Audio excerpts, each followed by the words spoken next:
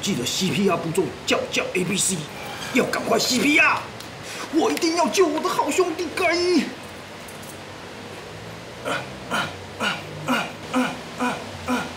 盖伊，你要活下去，你不可以离开我。啊，对，药水器。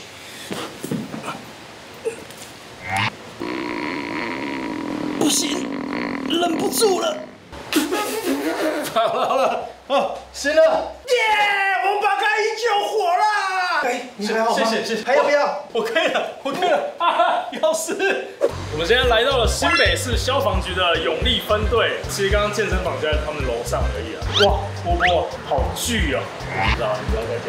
不是，我说这台车好巨，你是说我吗？想问一下这台多少钱？三千，三千哦，把它卖掉就可以买房。哎、我想这台是专门拿来救人的，生命是无价的，生命是无价的，可是我还是想把它卖掉。在消防队的编制上呢，不同分队会有主要负责的任务。永利分队呢，就是永和这里的救护专责，哪里发生车祸、有了溺水、火警、急救等等，都是他们的任务范围。也就是说，这个分队里面的每一位哦，都是救护专家。有比我刚刚表现还厉害吗？我是把你从鬼门关拉回来的、欸，好，如果你是我的救命恩人的话，他们这里每一位都是救命大师。我都可以救人，他也可以救人，哪里不一样？刚刚那个有加一点小巧思，那我们就直接请到我们今天的救护大神阿伟教官。哎，阿伟教官太巨了吧！我说这太太帅了吧！听说阿伟教官有拍那个严厉消防猛男，消防猛男，那你有遇过？好像没有怎么样，但是他们还是请消防队的过去，有有乌龙的。有有有，但是会报案他们都不觉得是小事，都是我们觉得是小事。比如说，头晕，哦，然后我们到现场，他已经自己走下楼，说哦，说好晕，我要去医院，他后来有带他去吗？还是得带。那教官觉得我们刚刚波波的救人表现怎么样？我刚刚其实有看到，觉得觉得更好。那个有很大的改善，吓到了。其实阿伟教官，我们今天来就是要来跟您学正确的 CPR。想救人命这件事情，我相信大家如果有机会都不会想要放弃。但是如果一知半解去做的话，可能会事倍功半。今天借由这个机会来教大家正确的 CPR。Yes sir。恳请教官指导我一下，怎么样去做这个事你可以选择右手或左手在下都可以。好，如果你右手在下的话，你的左手就这样扣住对对对，扣住，然后左手去把手指打开，然后掌根放在骨头连线的中间这个位置，对对对，然后屁股抬起来，再高一点，对对对对，然后就可以开始往下压。对二下、三下、四下、五下、六下、七下、八下、九下、十下、十五、十六、十七、十八、十九、二十、二三、二四、二五，这手越来越快。你知道有一个时候要特别快啊。你不要某一天真的打下去哦。我想问一下阿伟教官，什么时候会用到 CPR？当一个人心肺功能停止的时候，心肺功能停止的意思就是呼吸跟心跳都停止了。那心跳停止就是没有血液的供应，没有血液的供应，大脑就得不到氧气。四分钟之后，脑细胞就会开始受损，这个受损是不可逆的。如果这段时间都没有做 CPR 的话，十分钟之后，即便救活了，也会有很高的几率成为我们所谓的植物。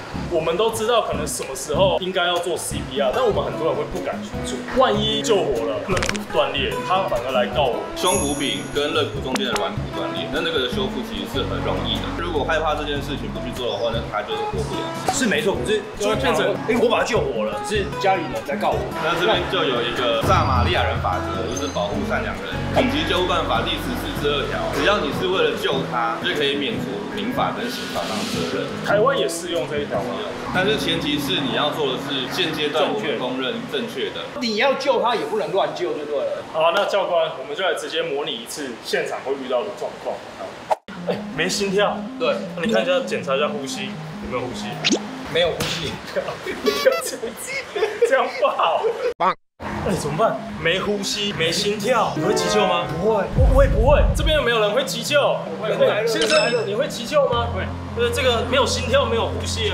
来，第一步，请先大声叫他。先生，先生，你怎么了？好，他没有反应，大力的拍他的肩膀。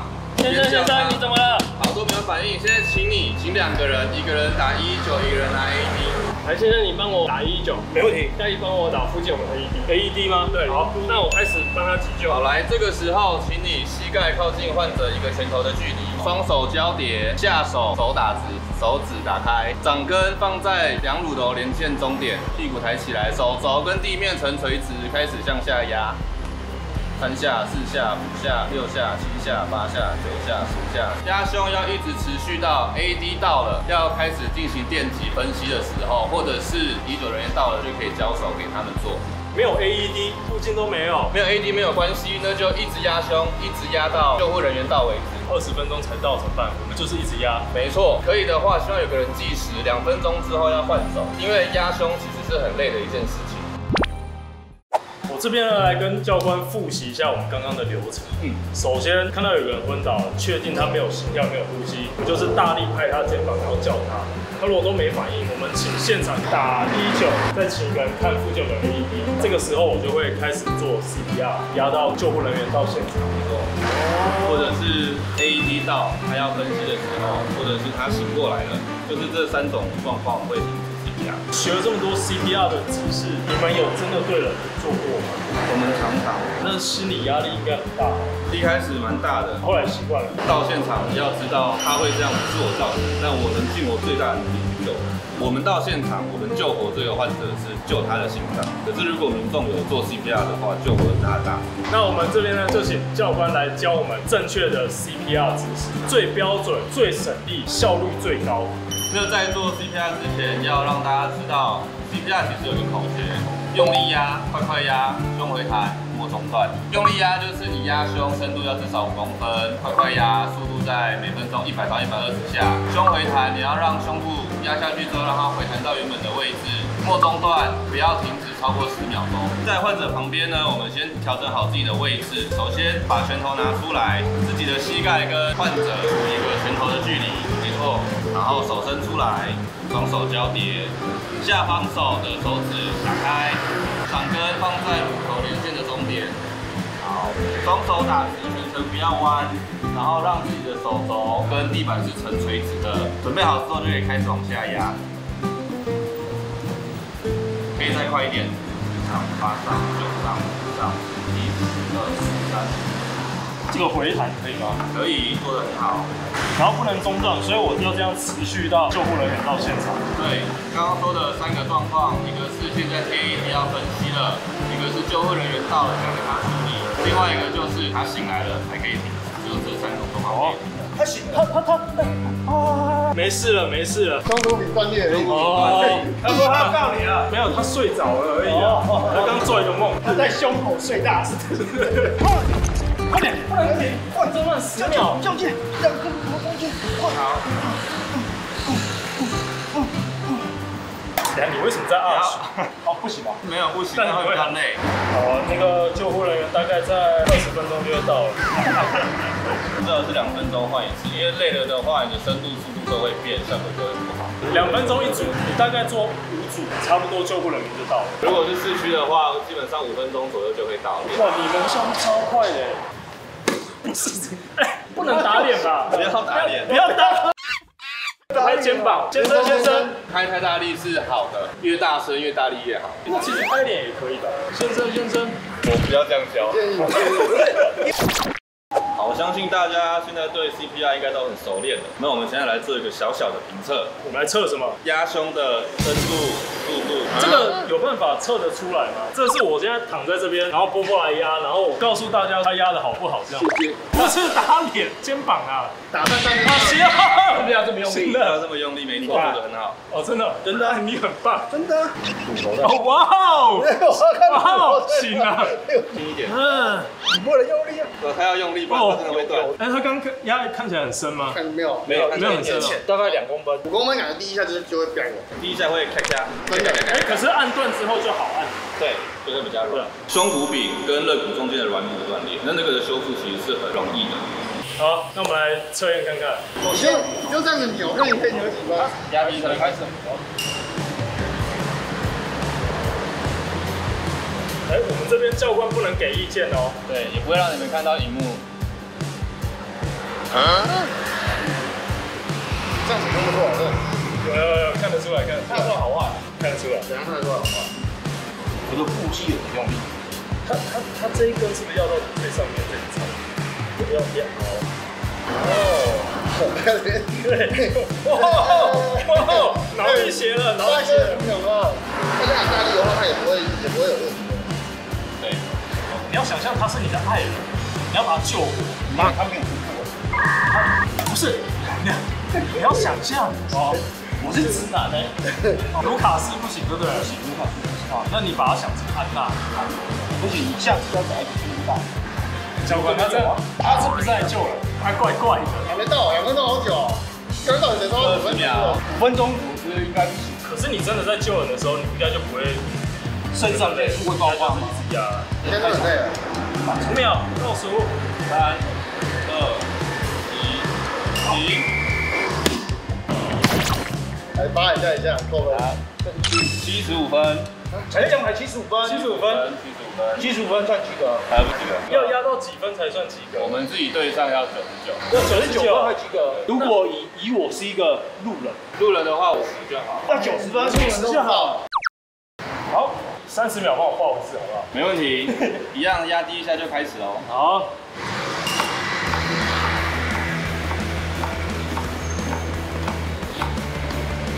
我是很好奇，他如果你按快或者是慢的话，会一分三十秒。它有橄榄，要把橄榄用你这样子要赔钱？不行啊，人命比较重要。如果真的他是橄榄，他压爆，那你要不要？你有把橄榄压爆？没有，他有压。有没有用过橄榄？没有用过橄榄，这边不是没有。现在是遇到机遇了，现在遇到机遇了。我觉得你这按的多多点，手会飞起来。对啊，这样飞，飞起来，这样飞起来是。原则上是要还有掌根可以，掌根可以，掌根可以，掌根可以，但手三十秒，这样有九十九分。他压比分蛮多的，他压很多。代表就是只是深度的问题。没有，因为它这个，你感觉碰到就是。我觉得好像打到你了，对吧？因为我记得上以前的我，我以为龙阳的身体看起来，看起来好像要 OK，二十九十九分，九十九分，真假的？没错。哦，橄榄压到一百分，要爆他的橄榄。哎，你这个膝盖都有汗呢。没办法啊，救人流点汗，对不对？好紧张哦。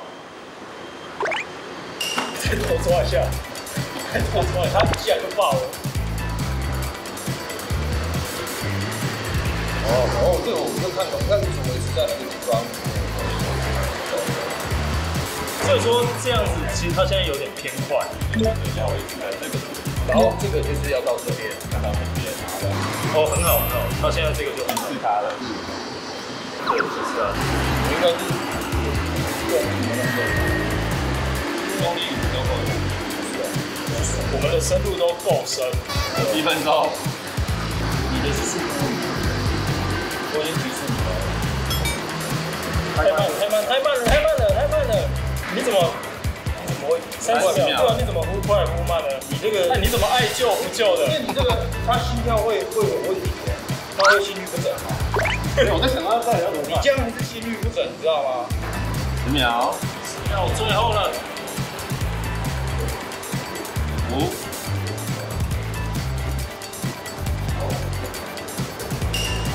接到九十四分，我看懂了，你一直撑在上面，你等于把身体的重量一部分压，所以回弹没有办法让它回弹到原本的位置。没错没错，因为你回弹不到位，就会很容易过快。所以刚刚波波都是有一点点太快，但其实如果你们打一九线上都会给你一那个线上指导，等你们都准备好之后，他就会放节拍的声音给你。手臂打直，用力的按压，跟着节奏，有听到哔哔声哈？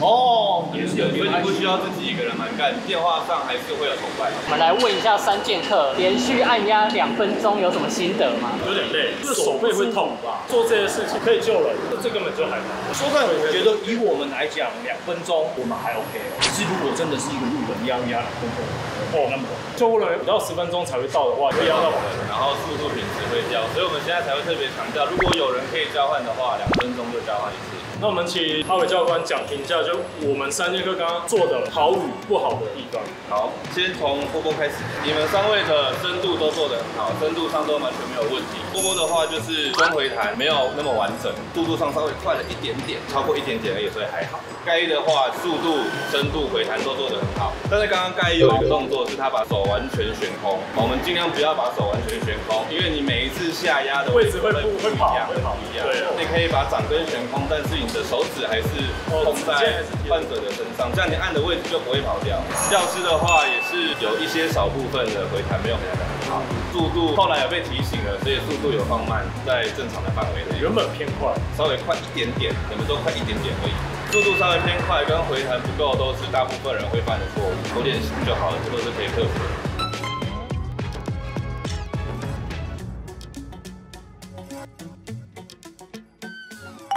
好，那我们今天抢救卢卡斯成功。最后呢，想要请教官再帮我们复习一下整个 CPR 的 SOP。第一步，看到患者倒下，先大声叫他，第二步，大声叫他加拍他的双肩。第三步，请旁边的人打119，还有拿邻近的 AED。第四步，可以开始做 CPR 压胸。做 CPR 的过程我们要注意什么？CPR 的四个口诀：用力压、快快压、胸回弹末中断。万一有需要，真的要做 CPR 的，至少我们还是有办法去抢救需要的。如果你倒下去，我一定会救。我已经被你救过了，我不会再倒下去了。还是你就让我去吧。如果我们真的忘记了，不知道怎么做，那我们该怎么办？如果真的全部都忘记，什么都不会的话，就打119，告诉他状况，就会有专业的人告诉你每一步该怎么做。哦，大家记起来了吗？那今天呢，也非常感谢新北消防局的永利分队两位教官来指导我们做出正确的 CPR。那大家真的要学起来，这个救人一命是非常重要的，不怕一万，只怕十万，怕万一，怕万一，对对对。感谢大家，谢谢，我们下次见，拜拜，赞。